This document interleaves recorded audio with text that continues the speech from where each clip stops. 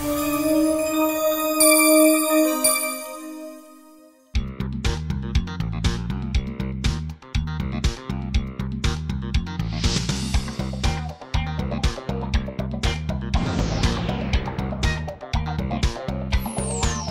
দর্শক, শুরু হচ্ছে আমি এখন কি করব। আমরা এই অনুষ্ঠানে তো সম্পর্ক নিয়ে অনেক কথা বলি। আমাদের আমাদের মানুষের সাথে মানুষের আদান প্রদান নিয়ে কথা বলি, কথা বলতে গিয়ে আমরা অনেক ধরনের কথা বলে ফেলি। আজকে আমরা সেরকমই একটা বিষয় নিয়ে কথা বলব, সেটা হচ্ছে সমালোচনা। সমালোচনা শব্দটির মধ্যেই কেমন যেন একটা নেতিবাচক ব্যাপার আছে। শব্দটি শুনলেই আমরা একটু নেতিবাচক অনুভূতির মধ্যে ঢুকে যাই। মানে মনে হয় যেন এই শব্দটি আমাদের ডিকশনারিতে না থাকলেই ভালো হতো। সমালোচনা শুনতে কারোরই ভালো লাগে না, কিন্তু তারপরেও আমরা সমালোচনা করি। আমাদের আশপাশের লোকজন আমাদের সমালোচনা করে, আমরা তাদের সমালোচনা করি এবং কাছের মানুষদের কাছ থেকে যখন সমালোচিত হই আমরা, তখন বোধহয় কষ্টটার কষ্টটার ভারটা একটু বেশি হয়ে যায়। আমরা বোধহয় একটু বেশি আঘাত পেয়ে যাই কারণ কাছের মানুষদের কাছ থেকে আমাদের প্রত্যাশা বেশি থাকে। তো আজকের টপিকটা হচ্ছে যে সমালোচনার কাছের মানুষদের কাছ থেকে যখন সমালোচনা পাবো আমরা, তখন সেটি কি করে সামলাবো? আমরা কি করে সেটি শোনা সত্ত্বেও একটি এত নেতিবাচক অনুভূতি যেটি তৈরি করছে ভেতরে, তারপরেও আমরা সেটিকে সামলিয়ে কীভাবে সামনে আগাবো, সেটি নিয়ে আমাদের অতিথিরা আজকে আলোচনা করবেন। আমি পরিচয় করিয়ে দিচ্ছি স্টুডিওতে যারা এসছেন, তার একজন হচ্ছেন কোহিনুর বেগম চৈতি কোহিনুর একজন সাইকোথেরাপিস্ট অনেক দিন ধরে প্রশিক্ষণ নিয়ে কাজ করছে, ভালো কাজ করছে। তোমাকে আমন্ত্রণ অনুষ্ঠানে। আরেকজন হচ্ছেন ডক্টর আতিকুর রহমান। উনিও অনেকবার এসেছেন আমাদের অনুষ্ঠানে। উনি একজন মনোরোগ বিশেষজ্ঞ। কাজ করছেন বঙ্গবন্ধু মেডিকেল বিশ্ববিদ্যালয়ে। আপনাকেও আমন্ত্রণ। তো চৈতি, তোমাকে দিয়ে শুরু করি। অনেক ধন্যবাদ, আপা। ধন্যবাদ বাংলা ভিশনের সকল শ্রোতা, দর্শকদের এবং অভিনন্দন জানাচ্ছি। আপা বলছিল প্রথমে যে আসলে আমরা সম্পর্কের মধ্যেই থাকি। সম্পর্ক দিয়ে আমাদের জীবনটা আসলে শুরু হয় এবং সম্পর্কের মধ্যেই কিন্তু আমাদের জীবনটা শেষ হয়। আর এখানে দুটো শব্দ খুব মানে কাছাকাছি, একটা হলো কাছের মানুষ, আরেকটা হলো সমালোচনা। তো আপা যেটা বলছিলেন যে কাছের মানুষের সাথে আসলে আমাদের অ্যাটাচমেন্ট বা ইমোশনাল অ্যাটাচমেন্ট বলে একটা কথা থাকে, সেই জায়গাটা অনেক বেশি থাকে। অ্যান্ড আমাদের শ্রদ্ধার জায়গা থাকে। তো কাছের মানুষরা সমালোচনা করবে, এটা খুবই স্বাভাবিক। আমি যেমন আমার গল্পের কোনো কোনো চরিত্র থাকে যারা কিনা আমার গল্পের কাছের মানুষ, কেউ থাকে মাঝা, মাঝামাঝি জায়গায়, কেউ থাকে একটু দূরের আবার ঠিক আমিও কারও জীবনের গল্পের হয়তোবা খুব কাছে আছি, হয়তোবা মাঝামাঝিতে আছি বা হয়তোবা অনেক দূরে আছি। তো আর সমালোচনা, এই বিষয়টা হয় কি যে সমালোচনা নেতিবাচক একটা দিক আছে, ঠিক একইভাবে সমালোচনার কিন্তু আবার গঠনমূলক দিকও আছে। তো আসলে সমালোচনাটা কীভাবে করছে, কে করছে, সেটা কিন্তু সম্পর্কের উপর ডিপেন্ড করে। এবং সম্পর্কটা যদি অনেক অ্যাটাচড বা ইমোশনাল জায়গা থেকে হয়, আমি সম্পর্কের জায়গাটা বলার আগে আমি বলব যে আমাদের সম্পর্কগুলো আসলে কী রকমের হয়। যেমন পারিবারিক সম্পর্ক, আমাদের বন্ধুত্বের একটা সম্পর্ক থাকে। চেনা জানাশোনা কাজের ক্ষেত্র বা আমার নেবার এরকম কিছু মানুষদের সাথে আমাদের সম্পর্ক থাকে। আরেকটা সম্পর্ককে আমরা বলি রোমান্টিক সম্পর্ক যেটা ভালোবাসার সম্পর্ক। সেটা হতে পারে একটা বয়ফ্রেন্ড গার্লফ্রেন্ড বা স্বামী স্ত্রী বা মানে ভালোবাসার প্রেজেন্স যেখানে অনেক বেশি থাকে। তো এই সম্পর্কের কয়েকটা ক্ষেত্র থেকে সবাইকে কিন্তু আসলে আমরা খুব কাছে রাখি না।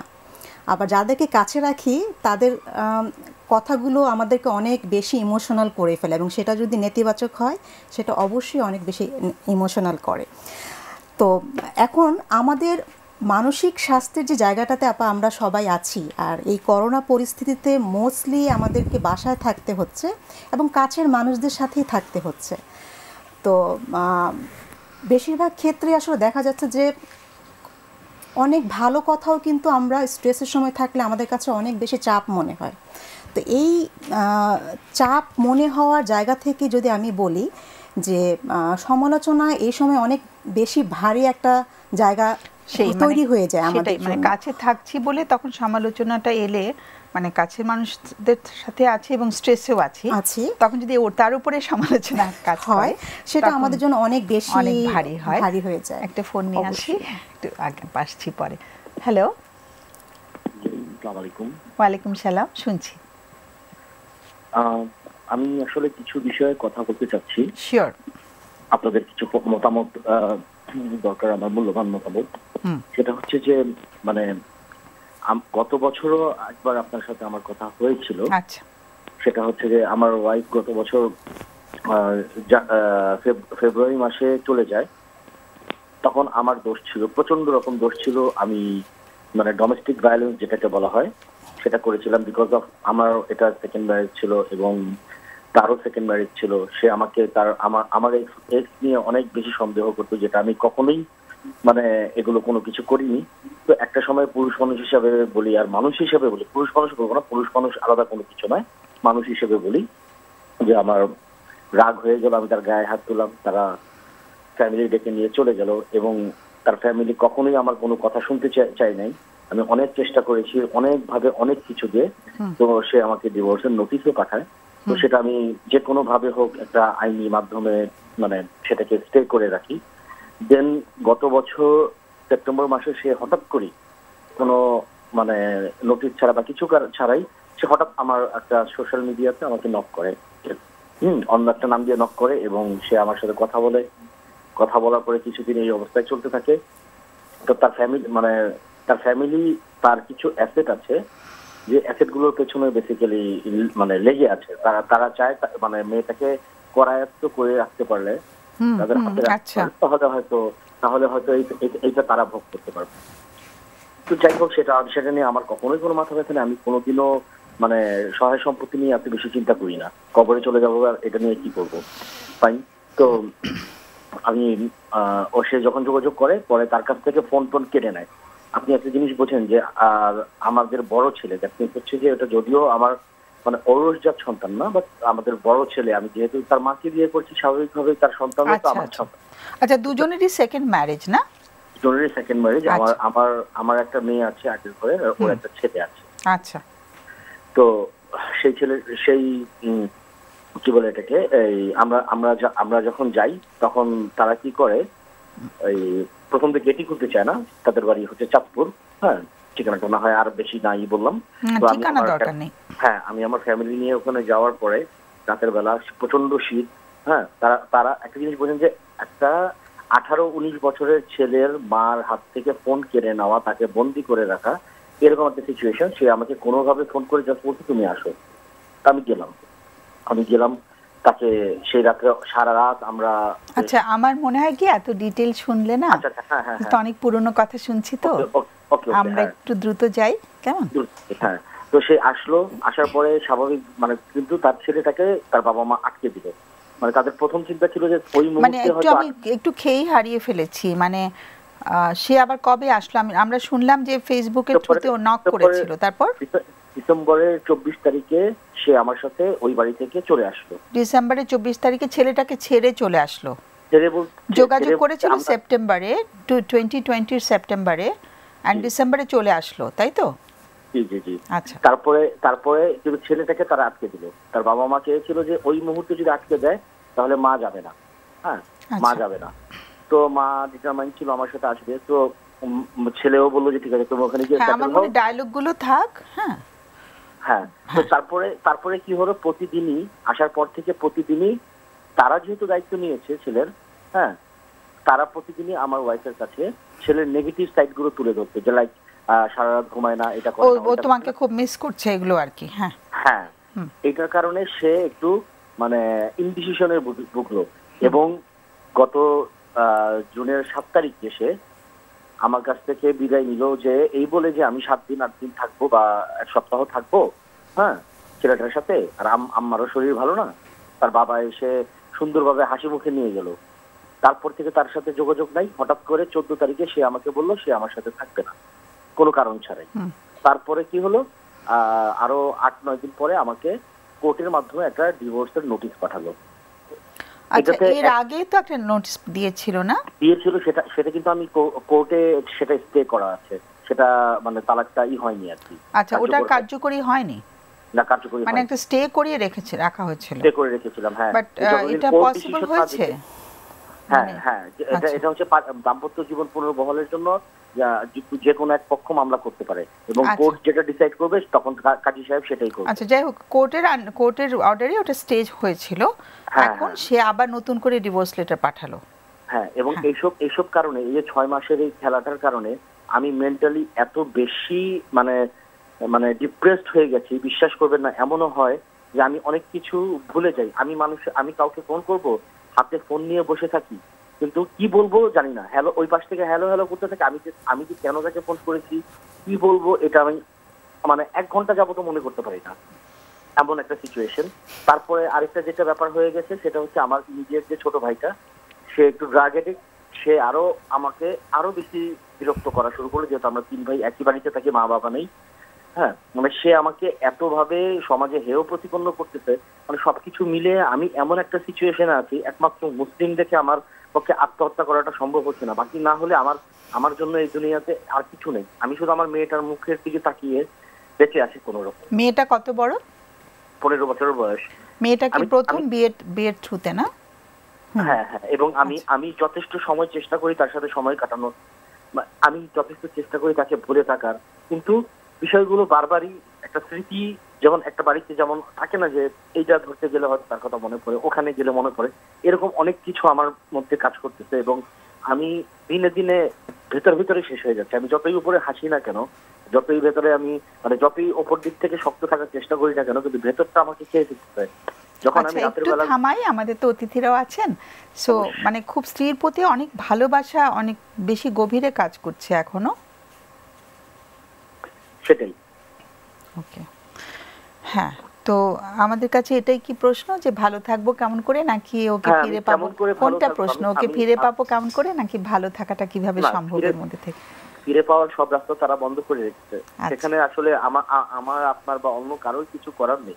আর আমি চাই আমি আমি এটা বুঝি যে যে একবার একবার এটা করতে পারে দুবার এটা করতে পারে সে বারবারই একই ঘটনাই ঘটাবে। মানে বারবার আঘাত লাগবে এত আঘাত সইব কেমন হ্যাঁ, করে? হ্যাঁ বুঝতে পেরেছি। একটু লাইনে থাকতে হবে হ্যাঁ? আমরা প্রশ্নটা পেয়ে জিনিস গেছি মানে ভালো থাকার প্রশ্নটাই তো। একটা জিনিসে ইন্টারাপ্ট করতে চাই। আমি আমিও একটা সন্তানের বাবা। আমি চাই না যে কোনো মানুষ তার সন্তানের থেকে আলাদা হোক। তো যদি সে আমার কাছে আবার আমি তাকে নিয়ে আসি আর তারা যদি তার সন্তানটাকে না দেয় তাহলে তো সেই একই ঘটনাই ঘটলো। আমি আমি না না সেটা বুঝেছি বাট আজকের প্রশ্নটা কি আমাদের কাছে এটাই যে এরকম পরিস্থিতিতে ভালো থাকব কেমন করে?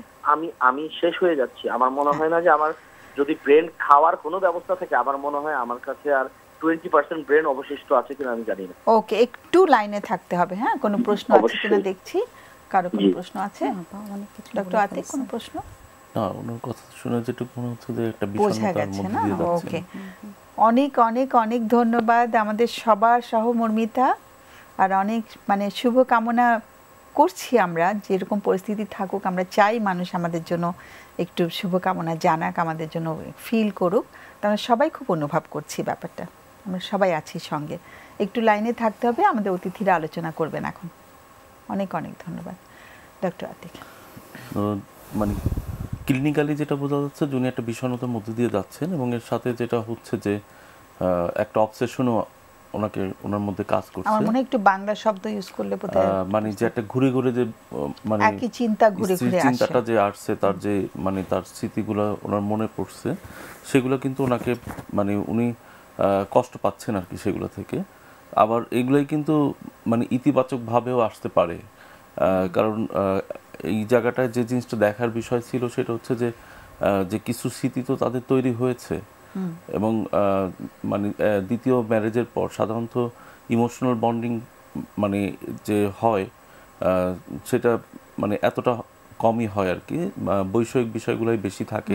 সাধারণত দেখা যায় কারণ সেকেন্ড ম্যারেজটা অনেক ম্যাচিউর অবস্থায় মানুষ করে। তো ইমোশনাল বিষয়টা কম থাকে তাদের মধ্যে একটা ইমোশনাল বন্ডিং যেহেতু আসছেন এবং সেই ইমোশনটা হয়তো ওর মানে ওনার ওয়াইফও ফিল করছেন যেটা উনি হয়তো জানেন না।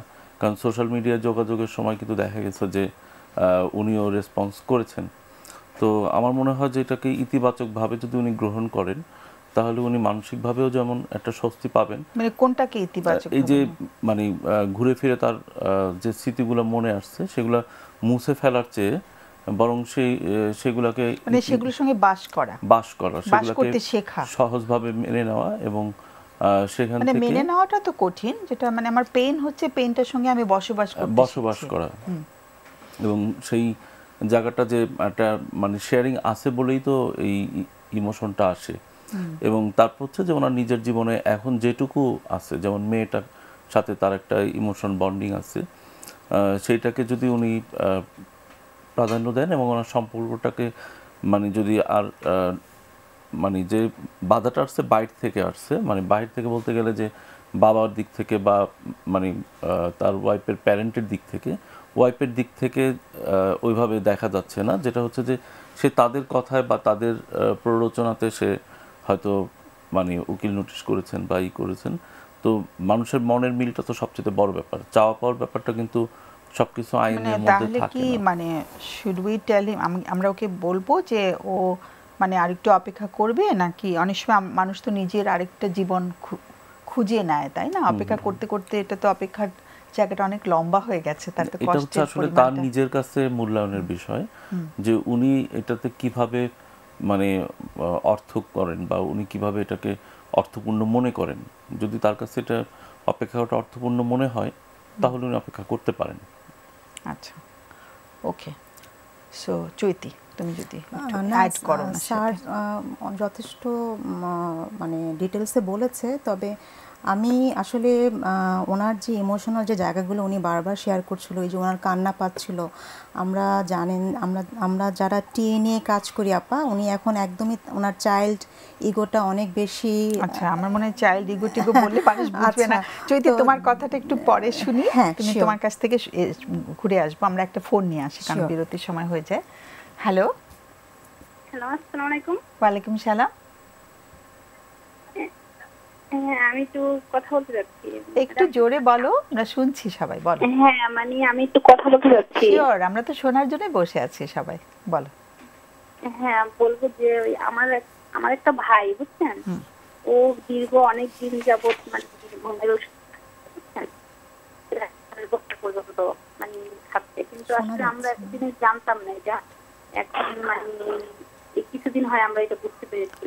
এর আগে ভাইটা ঘুমের ওষুধ খাচ্ছিল তোমরা জানতে না।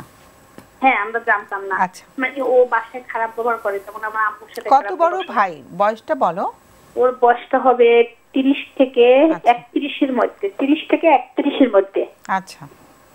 তিরিশ বছরে বুঝছেন? আচ্ছা একত্রিশ ঠিক হয়নি সম্ভবত। ঠিক আছে এত দরকার নেই বলো। হ্যাঁ তিরিশ বছর বয়স। তো আমরা মানে ওর জন্য আর কি মানে ওরে অনেক বলি যে তুই ভাত মানে খাওয়া দাওয়া করে না ঠিক করে আমার মার সাথে খারাপ আচরণ করে আমাদের সাথে খারাপ আচরণ করে। মানে আমরা যদি কোনো কথা বলি সেটা মাথা গরম রাখে সবসময় মাথা গরম। তারপরে সারা রাত ঘুমায় না বুঝছেন? ফোন আচ্ছা ঘুমের ওষুধ খাচ্ছিল নাকি কোনো ড্রাগ নিচ্ছে? মানে না কোনো ড্রাগ নিচ্ছে না শুধু ঘুমের ওষুধ যেমন ইজিয়াম থেরিল মানে অনেকগুলো করে খাচ্ছে এরকম? মানে অ্যাডিক্টেড ওটার প্রতি? আসক্ত হয়ে গেছে? বুঝতেছি ও কি ওটার প্রতি আসক্ত হয়ে গেছে? হ্যাঁ হ্যাঁ মানে এইটা সবসময় কে- ও না খেলে নাকি ওর ঘুম হয় না ও বলতে আচ্ছা, আমার বুঝেছি। খাওয়া লাগে আমি খাই। কিন্তু আমরা বলি যে এটা কেন খাও? এখন কোনো টেনশনে খায় না কোনো কি কারণে খায় এটা আমরা জানি না। তো ও দীর্ঘ দশ বছর পর্যন্ত খাচ্ছে এবং বাহিরের সবার সাথে সে ভালো আচরণ করে ভালো কথা বলে মাস্টার্স পাস করছে বুঝছেন? এই বছর মানে এই করোনার আগে মাস্টার্স কমপ্লিট করছে। শিক্ষিত। আর কেউ বলতেও পারবে না যে খারাপ কেউ বুঝতেও পারবে না কিন্তু শুধু আমাদের সাথেই খারাপ আচরণ করে বাসায়। কি করে? মানে কি ও গায়ে হাত তোলা টোলা পর্যন্ত চলে যায় সেরকম? হ্যাঁ হ্যাঁ হ্যাঁ এটা এটা মানে কথা যদি ওর সাথে নাই করে এমন কি হ্যাঁ গায়ে হাত তুলতে চায় রাইট তুলতে চায় কিন্তু তোলে না। না তোলে তোলেই এক পর্যায়ে তোলেই আচ্ছা। একদিন মানে আমাকেও একদিন এরকম মেরেছে, এরকম। মারতে চায়। এখন আমরা আসলে ওরে নিয়ে যে কি করব? কেউ বলে কি ওরে ওই যে মাদক দ্রব্য প্রতিরোধ সেল আছে ওখানে ভর্তি করে দিতে তিন মাস। কিন্তু আমরা আসলে এটা দিচ্ছি না কারণ আমরা জানি না যে ওখানে দিলে আসলে ভালো হইবে কিনা। আচ্ছা তুমি একটু লাইনে থাকো কোনো একটু প্রশ্ন আছে আমাদের অতিথির। আমাদের বিরতির সময় হয়ে যাবে তো একটু লাইনে থাকো। প্রশ্ন করো তুমি তো কাজ করছ। আচ্ছা আমি আসলে আহ, যেহেতু যে প্রশ্নটা আসছে আমি একটু বলতে চাচ্ছি দর্শক আপনাকে উদ্দেশ্য করে আমি নিজে একটা এডিকশন অ্যান্ড ডিপ্রেশন সেন্টারে কাজ করছি যেখানে কিনা অ্যাডিকশনে যারা সাফার করছে তাদের একটা হলিস্টিক ট্রিটমেন্ট হচ্ছে। আমি যেহেতু নিজে ওখানে কাজ করছি আমি সেখান থেকে বলতে পারি যে এ ধরনের ইস্যুগুলো এ ধরনের কেসগুলো খুব সুন্দরভাবে ট্রিটমেন্ট হচ্ছে এবং যে প্রোগ্রামগুলো আছে তিন মাস থেকে ছয় মাসের প্রোগ্রাম এটা রুগীর আসলে কন্ডিশন অনুযায়ী সেটা ডিসাইড হয়। তবে সেখানে মানে আপনারা খুব সুন্দর একটা ট্রিটমেন্ট পাবেন। আমার বিশ্বাস যে আপনারা একটু খোঁজ খবর নেন যে এই ধরনের আসক্ত যারা আছেন, তাদের কিন্তু একটা কোয়ালিটি ট্রিটমেন্ট দরকার হয়। যেখানে সাইকিয়াট্রিস্ট কাউন্সিলর বা সাইকোথেরাপিস্ট এছাড়া মেডিকেল মানে টোয়েন্টি ফোর আওয়ার্স ডক্টর থাকছেন। তো ওভারঅল একটা কোয়ালিটি সম্পন্ন ট্রিটমেন্ট হচ্ছে। সো আপনারা ইনফরমেশনটা ভালোভাবে জেনে আপনারা সিদ্ধান্ত নিতে পারেন. বরিশালে কি এরকম কিছু আছে? বরিশালের আমি ঠিক জানব না। ঢাকায় অনেক ভালো ভালো আছে। আচ্ছা, আমি যেখানে কাজ করছি ওটা আমাদের হয়ে গেছে? লিমিটেড একটু প্রশ্নটার উত্তর যেমন আচ্ছা প্রশ্ন প্রশ্ন করে রাখো এটা তুমি হ্যাঁ, পরে বলো হ্যাঁ। আচ্ছা ওনার যেটা প্রশ্ন ছিল যে বরিশালে এরকম প্রতিষ্ঠান আছে কিনা? বরিশালে এই ধরনের প্রতিষ্ঠান আছে। আপনাকে একটু খুঁজে দেখতে হবে এবং ক্রাইটেরিয়াগুলো দেখতে হবে যে সেখানে সাইকিয়াট্রিস্ট সাইকোলজিস্ট আমরা যান কিনা। কারণ অনেক ভুইফোর প্রতিষ্ঠান আছে যেগুলোতে এই ধরনের মানে পেশাজীবীরা যান না। তো কাজী সেটা দেখে বরিশালে তিন চারটা প্রতিষ্ঠানই আছে। আমরা মানে নাম বলব না আপনারা নিজেরাই নিজেদের দায়িত্বে একটু খুঁজে দেখেন। না বরিশালে কি মানে এরকম কিছু আছে নাকি? হ্যাঁ হ্যাঁ আছে। মানে তোমাদেরকে ভালো করে খোঁজ নিতে হবে যে কটা আছে তাদের মধ্যে কোনটাতে সবাই আছেন কিনা? ডাক্তার সাইকাট্রিস্ট সাইকোলজিস্ট মানে কাউন্সিলিংয়ের ভালো ব্যবস্থা গ্রুপ থেরাপি গ্রুপে কাউন্সিলিং দেওয়া হয় এগুলো সব কিছু সুন্দরভাবে হচ্ছে কিনা তোমরা খবর না নিয়ে কিন্তু সিলেক্ট করো না কেমন? ঠিক আছে? হ্যাঁ আমি সেই জন্যই বুঝতেছি না। আসলে অনেকেই বলে যে ওখানে দিলে নাকি ওরা মারধর করে আরও হয়ে সেটা সেটা তো তোমরা খবর নিয়ে তারপরে যেটা বলো এটাও অনেকেই অনেকে হ্যাঁ মারধরও হয়। হ্যাঁ ওটা তো বলছেন ডক্টর যেখানে পেশাজীবীরা যান না সেখানে গায়ের জোরেই চিকিৎসা হয়। মারধর করা হয় টর্চার করা হয়। ঢাকার একটা সেন্টারে তো একজনকে মেরেই ফেলেছে। হ্যাঁ সেগুলো অনেক নেগেটিভ খবর আছে। কিন্তু যেটা কোহিনুর বেগম চৈতি বললেন ও তো যেহেতু কাজ করে তো ওই হ্যাঁ। সংস্থার কথাও জানে। তুমি যদি নাম্বার চাও এই প্রোগ্রামে হ্যাঁ, প্রোগ্রামের পরে আমরা নাম্বারটা তোমাকে দিয়ে দিতে বলব কেমন? মানে সরকারি প্রতিষ্ঠান আমাকে থেকেও নিতে পারবে এই ধরনের কোনটা দিলে ভালো হয় একটা নাম বললে ভালো হবে। আচ্ছা একটা নাম তো আমরা বলতে পারব না যেহেতু উনি উপস্থিত আছেন উনি রেকমেন্ড করছেন।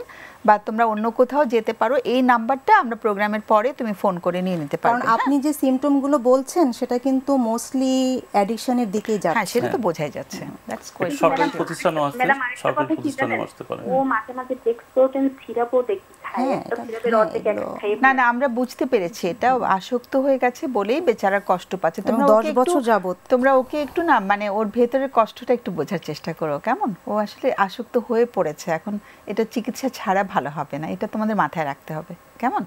অনেক অনেক ধন্যবাদ তোমাকে ফোন করার জন্য আমাদের অল্প একটু সময় বোধহয় বিরতির আগে আছে চৈতি তোমাকে থামিয়ে দিয়েছিলাম আগের ফোনটা নিয়ে যদি একটু বলো।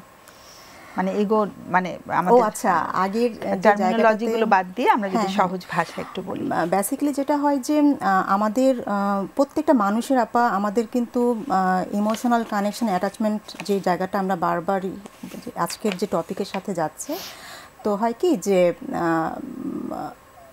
বর্তমান পরিস্থিতি মানে আমাদের সবসময় হেয়ার অ্যান্ড নাও সিচুয়েশনে আমাদের অনুভূতি, আমাদের চিন্তা বা আমাদের ব্যবহারগুলোকে ব্যালেন্স করতে হয়। এবং এটা খুবই কষ্টের কষ্টের অনেক ধরনের ইনসিডেন্ট আমাদের লাইফে আসে। স্বাভাবিকভাবে ওনার যে ঘটনার মধ্যে উনি পড়েছে, এটা খুবই কষ্টের। তো সেই ঘটনাটা মানে এই কষ্টটাকেও কিন্তু আবার ফিল করার জন্য একটা নির্দিষ্ট সময় দিতে হয়। মানে আমার জীবনে এত বড় একটা ঘটনা ঘটে গেছে, আমি খুব ভালো থাকব সব কিছু খুব চট করে সব অর্ডারে যাবে। এটা কিন্তু আশা করাটা আসলে আমাদের লজিক্যাল না। তো সেটা থাকবে। তারপরও যেহেতু উনি ওনার পনেরো বছরের একটা মেয়ে আছে, ওনার ভাইদের একটা দায়িত্ব আছে, ওনারা একসাথে থাকছেন, ওনার নিজের কর্মজীবন আছে এবং জীবনের আরও অর্থপূর্ণ অনেক দিক থাকে। তো সেই জায়গাগুলো ইতিবাচক জায়গাগুলোকে ধরে এখন যেটা হলো যে তাকে নিজেকে আগে সামলাতে হবে ভালো থাকতে হবে। একটু চৈতে হ্যাঁ। আমি একটু ইন্টারাপ্ট করছি কারণ একটা একটা ঘটনা যখন চলমান থাকে না মানে এটা কিন্তু অতীত হয়নি এটা বর্তমান হয়ে রয়েছে। সো বর্তমানে যখন কিছু ঘটতে থাকে তখন আমরা অনেক চেষ্টা করেও কিন্তু ভালো থাকাটা একটু কঠিন হয়ে যায় হয়ে যায়, মানে হয় না এটা একটা চলছে অনেক দিন ধরে চলছে। তারপরে হ্যাঁ, ফিরে এসে স্ত্রী আবার ওর মধ্যে একটা আশার সঞ্চার করল আবার চলে গেল আবার কিন্তু মনটা ভেঙে গেল তাই না? সো ভাঙা মনটাকে একটু সে জোড়া লাগাতে শুরু করেছিল হয়তো আবার যখন স্ত্রী ফেরত আসলো তখন অনেক প্রত্যাশা অনেক। স্বপ্ন দিয়ে আবার শুরু করল কিন্তু আবার স্বপ্ন ভঙ্গ হয়েছে। আমরা একটু বুঝতে পারছি যে খুবই কষ্টে রয়েছেন যিনি আমাদের কল হ্যাঁ, করেছেন তাতে কোনো সন্দেহ নেই। আমরা বরং ওকে বলি যে একটু প্রফেশনালের চেষ্টা করো। প্রফেশনালের হ্যাঁ। সাহায্য নিয়ে মানে ছাড়া বোধে উঠে দাঁড়ানো একটু কঠিন হবে। মানে সাইকিয়াট্রিস্টের কাছে যেতে পারে সাইকোলজিস্টের কাছে যেতে পারে। আজকাল তো টেলিমেডিসিন সবাই হচ্ছে, করছেন। সো একটু যদি মেডিসিনেরও দরকার হয় কারণ মানে ঘুম টুম ভালো হওয়ার কথা না। খুব একটা রেগুলার অসুবিধা মানে প্রবলেমে রয়েছে স্ত্রী যোগাযোগ করছে না। সো কনস্ট্যান্ট একটা ব্যথা নিয়ে আছে কিন্তু সে। করছে না বা করতে দেওয়া হচ্ছে না who whatever who knows the bottom line is স্ত্রী যোগাযোগ করছে না তাই না? সেটা মানে প্রভাবিত হয়ে হোক আর যেভাবে হোক কষ্ট তো যে আমাদের ফোন করেছে তার হচ্ছে। সো তার কষ্টটা সে একটু লাঘব করবে কেমন করে সেটাই তার প্রশ্ন ছিল। ভালো থাকাটা So আমার মনে হয় যে আইদার মেডিকেশন অথবা থেরাপি দুটোর দুটোর কম্বিনেশনও হতে পারে বাট যদি একটারও হেল্প নেয় আমার মনে হয় টু সাম এক্সটেন্ট কিছুটা হলেও হ্যাঁ, সে রিলিভড হবে আর কি। হ্যাঁ আপা সরাসরি সহযোগিতাটা কাজ করবে। মানে যে শুনে উনি নিজেকে গুছাবেন যদি কোনো প্রফেশনালের সাথে সরাসরি যোগাযোগ রেখে এটা করেন তাহলে কাজটা একটু সহজ হবে। সরাসরি মানে মানে চেম্বারে বসে? চেম্বারে বসে পারি থেরাপি নেওয়া অথবা অনলাইনে থেরাপি নেওয়া অনেক টাচে অনলাইনে থেরাপি নিচ্ছে আজকাল সবাই যেহেতু কোভিডের কারণে আমরা খুব মানে এখন ফিজিক্যাল সেটিংটা আমরা একটু নিজেরাও বাদ দিয়েছি হ্যাঁ। সো আমরা মনে হয় যে একটু তাকে রেকমেন্ড করতে পারি যে হি নিডস সাম হেল্প আগে তো হেল্প নেয়নি। তো আমরা একটু ঘুরে আসি বিরতি থেকে। সুপ্রিয় দর্শক আমরা বিরতিতে চলে যাচ্ছি। ফিরে আসব একটু পরে। থাকবেন আমাদের সাথে।